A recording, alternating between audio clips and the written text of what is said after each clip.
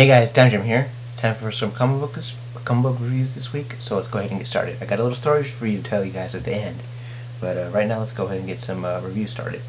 Alright, honorable mentions this week. Uh, Anita Blake, A Laughing Corpse, number 505. Uh, just basically the end of the story arc with The Laughing Corpse. Um, pretty much the, the cover pretty much says it all. Um, Anita Blake at the end gets uh, attacked by zombies. Um, uh, the book was phenomenal. The uh, the art was great, and the story was done by um, Jessica Ruffner, and the art was done by Ron Lim. So uh, hats off to those guys. Awesome stuff. Uh, Anita Blake. I'm gonna pick up the next book, uh, which is book two of the same series. So um, very very good stuff. Very good stuff. Also honorable mention. Deadpool number seven.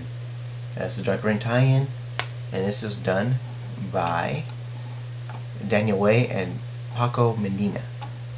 Um, pretty much the end of the fight with Tiger Shark, and uh, we see some some of Bob Agent of Hydra, which is always good fun. Um, what we're going to see in the next book, it ties into the uh, Thunderbolts book. So Deadpool versus the Thunderbolts, which is going to be awesome. I cannot wait for that. But I'm going to also be also buying the Thunderbolts books along with the uh, the Deadpool book. So um, just to you know have some continuity there and try to keep up what was what's going on with with the Deadpool and Thunderbolt, them where they're fighting each other, stuff like that. So I'm waiting for the I'm waiting for the um, waiting for that fight. It's gonna be a good fight. Um, Ant Man looks pretty cool, though. The the end he does look pretty cool. So um, yeah, very very good stuff. Very good stuff. And plus hilarity. Deadpool you can't can't go wrong with it with hilarity in Deadpool. Alright. Now you may notice in the beginning uh, I have a new theme with the comic book theme and stuff like that, the turning pages and all that stuff. That's part of the new iLife 09 suite that um, that I just purchased not too long ago. Um, now you may notice the graphics down uh, wherever I put the graphics. Um, they're nice and like comic booky and stuff like that. But uh, the downside is that I, I can't put like cover of the week, book of the week, beat down of the week, on those. So I'll, I'll, from now on, I'll just mention them, and um, um, you know, I'll put the title and the number, uh, the issue number on on that. So, um, so it's just you know, this is part of the new stuff. I'm experimenting still, so um, full. So I'll see what works. But first, uh, let me just say, um, Immortal Iron Fist number 22 gets beat down of the week because it was it's just a it's just a slugfest. It's, it's, it's sort of sad, to be honest with you. Um, Danny Rand, the Immortal Iron Fist, is part of this, you know, I guess he's part of this group, um, the Immortal Weapons, and, and they're, they're, were sent on a mission to basically what, what is equal to purgatory, I guess, um, to, go, to go save someone down there. And um, uh, they end up getting, you know, into tournaments non-stop. They're on non-stop continual uh, battle royale fights and, and stuff like that, which is, so brutal, so so brutal, and it's very uh, very depressing to see to see that. But the story's good, great art, uh, good artwork. Um, the book was done by Duane Strunitzky and Travel Foreman, so very good book.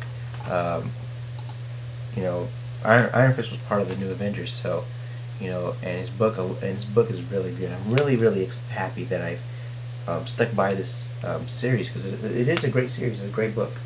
So beat down of the week, Immortal Iron Fist number 22.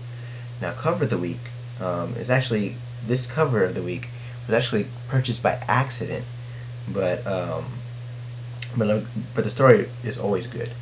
Uh, Invincible Iron Man number 10 and the cover is the variant cover. Um, I mistakenly got this this cover, but I'm really glad I did because I, I really like uh, the the whole you know the Iron Man suit and all these wires coming out and he's pretty much on life support and stuff like that. Very cool stuff. And the book was done by Matt Fraction and Salvador Larroca. Uh, Matt Fraction continues to hit the, uh, the stuff out of the ballpark with the Invisible Iron Man stuff. Uh, very good book. Uh, Dark Reign tie-in, of course, because Iron Man is he basically the, the central unit uh, the, one of the main reasons why Dark Reign started in the first place. So of course he's going to be uh, part of Dark Reign. Um, we also see some pretty cool stuff. Um, we get to see, um, you know, we get to see some stuff with uh, Maria Hill and their kind of relationship with Tony Stark. I was kind of blossoming into something else, and Pepper Potts, and I called it. I knew what was going to happen sooner or later. Pepper Potts has her own Iron Man suit, so it's gonna be it's gonna be good. It's gonna be great. I can't wait to see what happens next. Um, Iron Man's out on the run. Um, and it looks like Pepper Potts is going to sort of take the place of the new Iron Man, so or Iron Woman, I should say, um, for I guess the next couple couple books. And maybe if if things go go, go good, um, depending how fan support is, she may get her own book. So, um, or, if, if, if the bigwigs at Marvel even let her. Um, it just depends. We'll see how that goes, but always always a good good good recover of the week. Very good.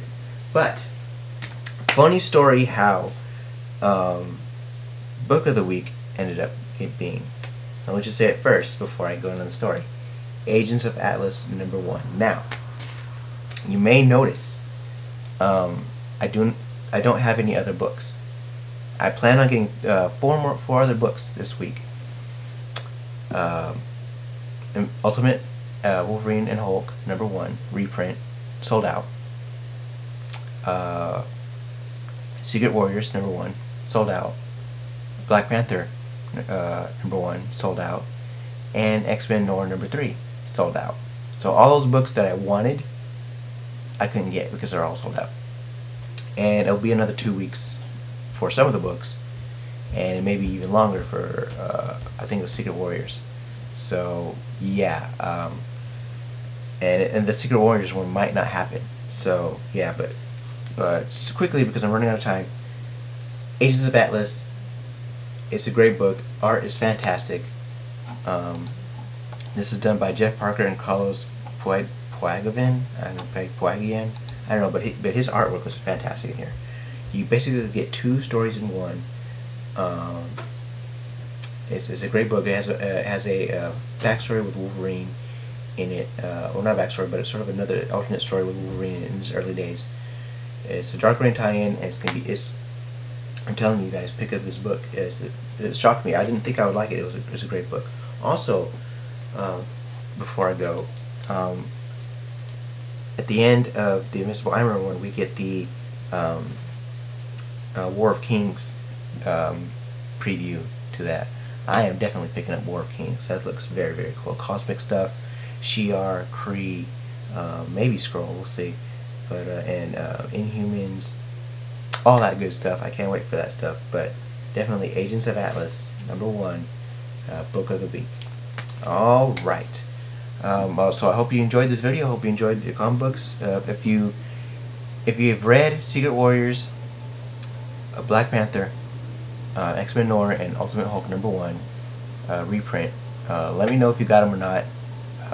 don't give me any spoilers just let me know that you got them if, if, if they were good or not. So, um, so I know what to kind of expect and, and uh, if I should get it or not. So, this is the end of the video. Make sure you rate, comment, subscribe. Any hateful, spiteful comments toward me and toward else will be deleted. So it's TimeGem, signing off. Take care, guys. I'll talk to you soon. Talk to you later. Bye.